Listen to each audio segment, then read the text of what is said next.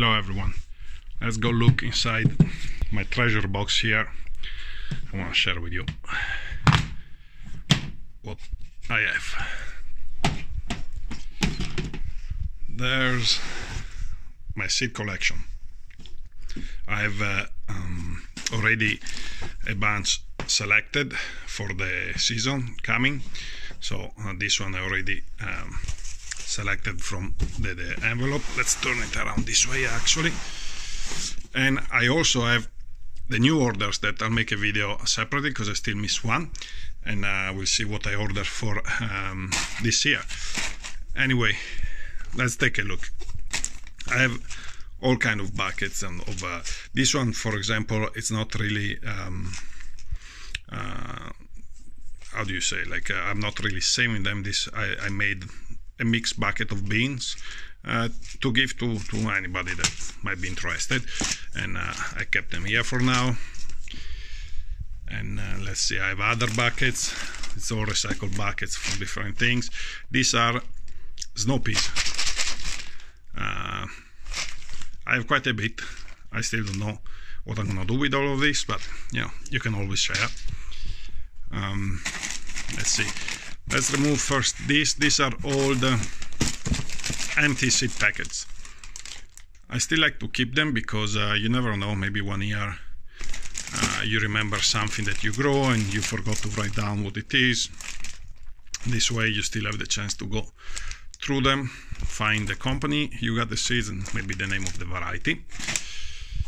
Um, so most of them I keep them in this uh, uh black envelopes divided in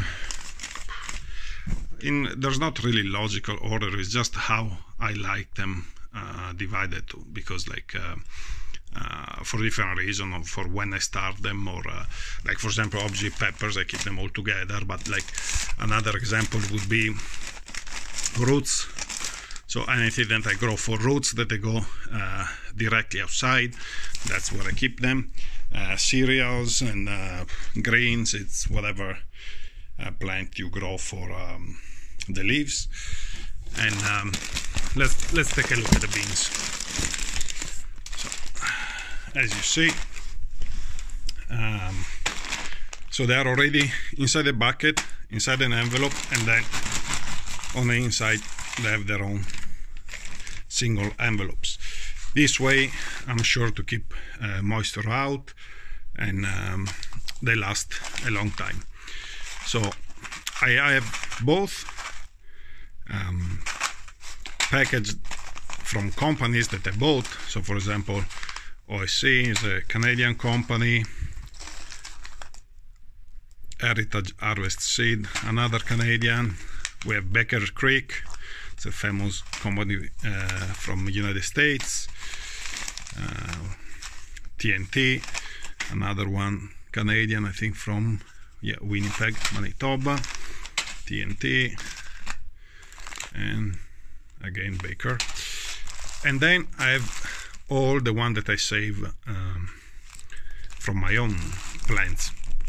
Most of the time, uh, you will find uh, both, like for example, yeah, we have uh, um, Good Mother Stallard variety that is the original that I bought from Baker Creek. And then there probably is this one. Yeah this is the one that I save from my own plants.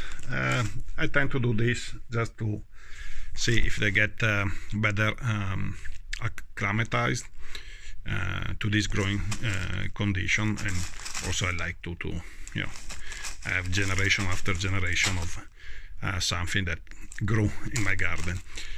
Uh, Mayflower Cherokee Trail of Tears what else we have? Cranberry I think or true cranberry. This is a, hmm, a heritage doré. Another one the label is inside out but so yeah uh, quite a bit of beans. Oh this one they are a bit different because this one they are the broad beans uh, black russian. Uh, but mostly of this one they are just dry beans that um, what I like to do at the beginning of every season, order a couple of new varieties, hopefully with different patterns, different colors. Then take maybe five or ten seeds each from everything, mix it all together and uh, plant it. And uh, then it's going to be a surprise with the kids when we open the beans. It's always fun to see who gets who.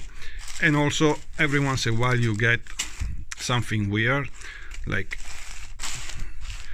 this one here, that um, they look almost like a, a cross between a, a couple of uh, varieties, or they have like um, they're um, just a slightly different uh, pattern or look from the original.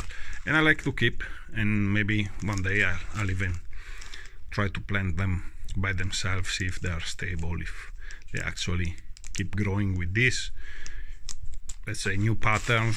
Anyway those are the beans. Maybe let's take a look um, what else we have. Yeah alliums eggplant summer squash yeah, I divide the summer and, and winter squash, even if they are grown basically the same way. For in my case, mix herbs. Uh, there's the winter squash tomato. Okay, let's take a look at the tomato. Let's make some space. And let's see, we can go through maybe the tomato. And then let's see, because otherwise we're gonna stay here all day. So same thing here. On this side we can see these are uh, my own seeds and these are now uh, seeds that I bought uh, from different companies. Um, what is this? I can't even read it. Uh, maybe I should have brought it bad ah no maybe. No this one. Well, put it aside. Let's we're gonna investigate later on. Jubilee August 17 2017 I guess. It's quite old. Let's see. This one is newer. There you go. Tomato um, Cherokee Purple 2020 this one again which year is? Anyway can't read it now. Obviously just a, a good thing is to make better envelopes but that's fine I'll, I'll uh, I can figure it out. This one, it's um, I call it uh, wild cherry tomatoes. This is a tomato that grew by itself. It's obviously not a wild tomato from here, but I call it wild. Uh, it grew by itself in my garden, and it was uh, that year I had really uh, lots of problem with diseases, and this one was the only one without diseases. It was a cherry tomato, uh, small. Even the seeds you can see they're very small, and I grew it though year after year, and uh, I actually go directly. I don't start them inside. I plant the seeds outside because that's how it grew the first year, and uh, they produce. So it's very interesting. So every year I save uh, the seeds, and I try to keep it away from other tomatoes. So I, I, find always its own spot and let it grow by itself. Right here we can see more uh, different companies of uh, um, seeds company from which I order. So like before we saw Heritage harvest seed, Canadian. Uh, this one also is uh, from Quebec, Ecumene. Again, this one and another uh, Ecumene. Here is an Italian one. Uh, I think it's called uh, La Rosa, Emanuele La Rosa seeds. So this one is an Italian, but that you can find here uh, in mostly like in Italian stores, but here in Canada. This is another small a local seed company. Again the, the usual. There's another one. Uh, can find the name. Hmm Amis. It's from Quebec but yeah. I don't see the name. Um, OSC again this one this one comes from Italy actually because it's uh, from a store in Italy Conad so uh, sometimes I get some seeds sent from Italy. I don't buy them; that they uh, they send them to me like as a gift. Again, Emanuele La Rosa, uh, Baker's Creek, obviously. this one I think is Amer, yeah, Amer, Amer, how you say it, and I'm not sure if he's Canadian or American. Oh, no, Canadian.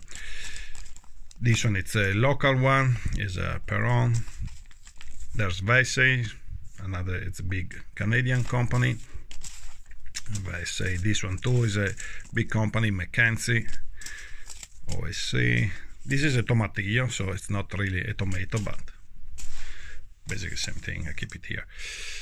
Again, the one that I know, and this one is a local one. It's probably the closest to where I live.